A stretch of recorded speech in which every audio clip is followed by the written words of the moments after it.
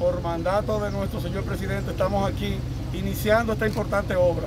Ya hay un tramo que se había iniciado hace tiempo, cuando se, se estaban realizando los trabajos de la turística, y es una obra de interconexión entre lo que tiene que ver la carretera turística, lo que tiene que ver con la cumbre, Palo Quemado y todas estas comunidades, con Guasumar y Tamboril.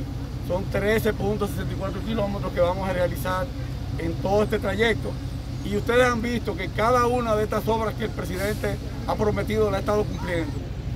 Esta obra, no es desde ahora que yo escucho que ha sido una petición, un sentir de la gente, que se haga esta obra por lo que representa, como dijo Mateo históricamente, el contacto con las hermanas Mirabal. Pero también es un contacto ya con una vía turística como, como es la Luperón. O sea que vamos a conectar municipios se ve bien, se ve bien, porque además tienen todos los equipos aquí y además donde van los funcionarios creo que no pueden hablar mentiras.